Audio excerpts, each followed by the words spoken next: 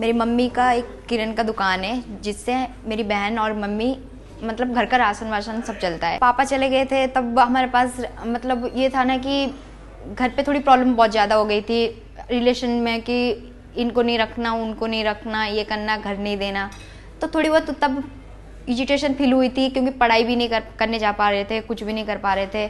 मैं तो ज़्यादा पढ़ी भी नहीं हूँ प्लस टू कंप्लीट करा। उसके बाद मुझे पता चला कि वहाँ पर D D U K Y का भी कुछ निकला हुआ है। मुझे अच्छा लगा कि चलो मैं भी जाती हूँ, घर पे बैठे कुछ काम नहीं है, चलो थोड़ी सीखे और भी कुछ काम करें तो घर फैमिली को भी हेल्प होगा। हाँ मैं जब उड़ीसा में थी, मेरे को हाइपर सिटी में इंटरव्यू होता मैं वीडियो कॉलिंग में इंटरव्यू दी थी बट मैं सेवन थाउज़ेंड फाइव हंड्रेड से स्टार्टिंग करी हूँ जॉब टू ईयर्स मैंने हाइपर सिटी में जॉब करा।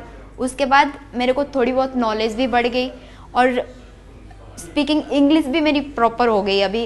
तो उसके हिसाब से मैं एक बाहर की company international company Japanese Miniso उसमें मैं अभी जॉब कर रही हूँ और मेरी सैलरी है सेवनटीन थाउज़ेंड सर्विस देनी होती है कस्टमर को कस्टमर को कैसे अटेंड करना होता है। और जितना कस्टमर से आप फ्रेंकली बात करते हो, उससे आपका भी नॉलेज होता है कि हम एक एक कस्टमर से एक एक इंसान से मिले किस टाइप के इंसान से मिल रहे और कैसे बाहर में रहा जाएगा। अगर बाहर भेज देंगे तो आपको फैमिली वो सब सीखने को भी मिल जाता है जॉब लाइफ में।